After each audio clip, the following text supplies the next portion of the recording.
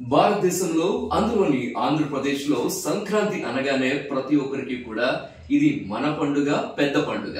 మరి ఆ పెద్ద పండుగని మరింత పెద్దగా నిజంగా చెప్పాలంటే ఆంధ్రప్రదేశ్లోనే ఇంతవరకు ఎవరు చేయలేని విధంగా ఒక సరికొత్త విధంగా అనేకన్నా మన పల్లెటూరి వాతావరణాన్ని మనకి ఉన్న నృత్య రూపకాల్ని అలాగే మన వంటకాల్ని ఇలా చూస్తూ పోతే గనక ఒక సంక్రాంతిని విశాఖపట్నంలో చేస్తూ వావ్ సంక్రాంతి అనేలాగా సిద్ధం చేస్తా ఉన్నారు మనతో ఉన్నారు శ్రీ జీవిఎల్ నరసింహ్ గారు. మరి member of parliament. So sir ఈసారి సంక్రాంతి చాలా అద్భుతంగా ఉండబోతుంది అని విశాఖపట్నం మొత్తం మాట్లాడుకుంటా ఉంది. ఈ రోజు మీరు మార్నింగ్ చేసిన ప్రెస్ కాన్ఫరెన్స్ కూడా అద్భుతంగా మీరు కూడా నాట్యం చేసి ఎస్ ఇది మన సంక్రాంతి అనేలా చేశారు. అసలు ఈ సంక్రాంతి ఎలా ఉండబోతుంది? మీరు ఎలా మరి చేయబోతున్నారు జీవిఎల్ గారు? థ్యాంక్ యూ వీరు గారు. సంక్రాంతి అంటే సందడి.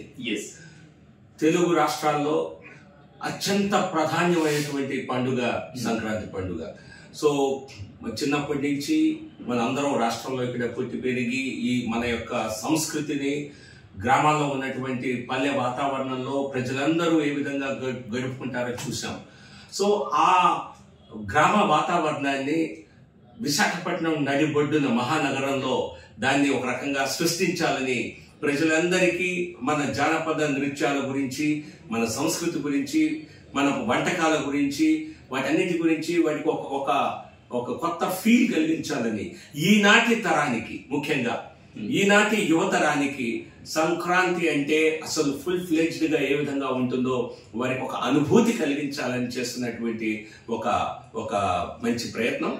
తప్పనిసరిగా ఇది విశాఖ వాసులకి మరి గతంలో మరి లేనట్టుగా ఒక కొత్త పండుగని ఈసారి చూడబోతున్నారు. మీరు అన్నట్టుగా తెలుగు రాష్ట్రాల్లోనే ఈ స్థాయిలో సంక్రాంతి పండుగని ఎప్పుడు జరుపుకున్నటువంటి విషయం నాకైతే తెలియదు సో ఖచ్చితంగా ఇది ఒక మరువలేని జ్ఞాపకంగా మిగులుంది. ఎందుకంటే సినిమా రంగంతో మీకు ముడి ఉంది. నాకు చాలా. ఆసక్తి ఉంది సినిమా రంగం అంటే సంక్రాంతి అంటే సినిమాలు.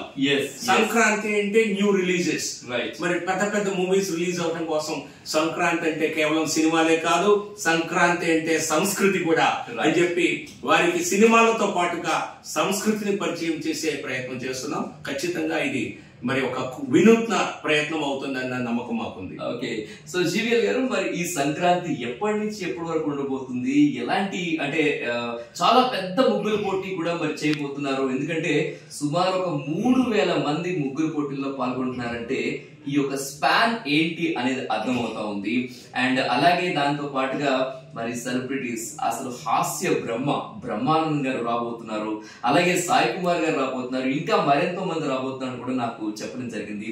సో జీవిల్ గారు మరి ఇంత పెద్ద కార్యక్రమం ఇంత పెద్ద కార్యక్రమం ఎప్పుడు ప్రారంభం అవుతుంది ఎప్పుడు వరకు? ఎస్ ఇది సంక్రాంతి ఈసారి పండుగ భోగి పద్నాలుగు సంక్రాంతి పదిహేను పదహారు కనుమ వచ్చాయి సో కనుమకి సాధారణంగా అందరూ ఇళ్ళ వద్దే ఉంటారు. అందరూ మంచిగా ఫీస్ట్తో అవును. పండుగ వాతావరణంలో ఉంటారు సో కాబట్టి పదిహేనవ తారీఖు వరకు ట్వెల్త్ జనవరి నుంచి ఫిఫ్టీన్త్ జనవరి వరకు నాలుగు రోజుల పాటు non stop entertainment super so ఇది entertainment in a very traditional way super మన సంస్కృతిలో మనం ఆ వినోదాన్ని పొందటం. మీరు చెప్పినట్టుగా ఒక్కొక్క రోజు కొంతమంది ప్రముఖుల్ని పిలిచి. మరి వారితో వారు మనతో పాటు వారి ఆనందాన్ని పంచుకునేట్టు మీరు చెప్పారు హాస్య బ్రహ్మ బ్రహ్మానందం గారితో మాట్లాడటం జరిగింది. వారు పదమూడవ తారీఖు టెంటేటివ్గా ఫిఫ్త్ థర్టీన్త్ వారు ఇక్కడికి రానున్నారు. సో ఖచ్చితంగా బ్రహ్మానందం గారితో మరి కొన్ని గంటలు గడిపితే ఆ- సరదానే వేరు సో. కాబట్టి ఈ సంక్రాంతికి మరి బ్రహ్మానందం గారితో మంచి ఒక వినూత్న ఎంటర్టైన్మెంట్ అలాగే సాయి కుమార్ గారు సినిమా యాక్టర్ గానే కాదు.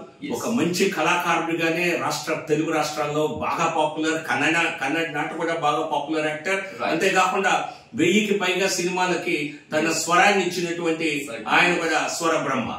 సో వారు వస్తున్నారు అలాగే మంచి సింగర్స్తో మ్యూజికల్ నైట్స్ ప్రతి రోజు ఏర్పాటు చేయనున్నాం.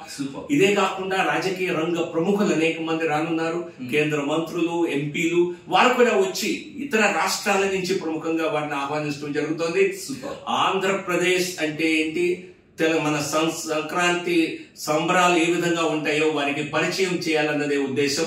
సో కాబట్టి ఇది ఒక పెద్ద స్థాయిలో మరొక ముగ్గుల పోటీలు మీరు చెప్పారు. Right. సంక్రాంతి అంటే ప్రతి ఇంటి ముందు ముగ్గులు గొబ్బెమ్మలు హరిదాసులు మరి ఈ ఇటువంటి పల్లె వాతావరణ సంస్కృతి ఇక్కడ క్రియేట్ చేసి వేలాది మంది మహిళలు వచ్చి మరి ఆంధ్ర యూనివర్సిటీ గ్రౌండ్స్లో విశాఖపట్నంలో ముగ్గులు వేయనున్నారు. రైట్ వాళ్ళలో అత్యధికంగా చక్కగా ముగ్గులు వేసిన వాటిని న్యాయ నిర్ణేతలు గుర్తించి మెయిన్ గ్రౌండ్స్లో మూడు వందల మంది చేత ముగ్గులు వేయించనున్నాం.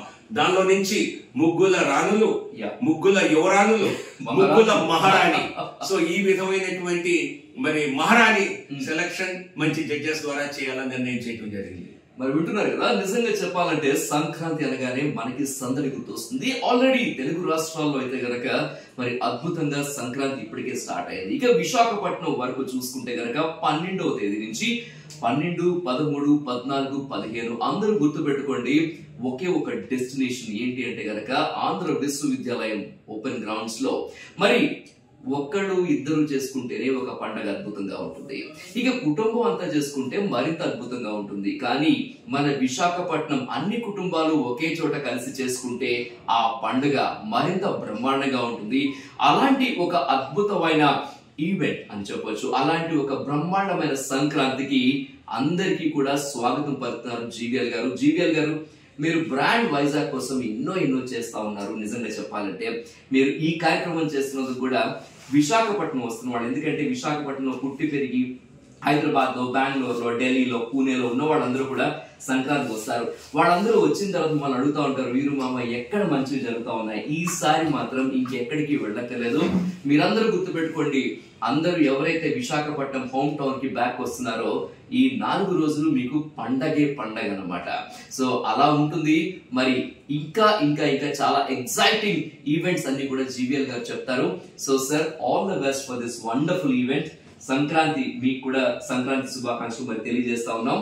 రండి అందరం కూడా విశాఖపట్నం ఆంధ్ర యూనివర్సిటీ విశ్వవిద్యాలయంలో ఆ గ్రౌండ్స్లో చేసుకుందాం Sankranti. Thank you much, sir. Thank you. Thank you నమస్కారం.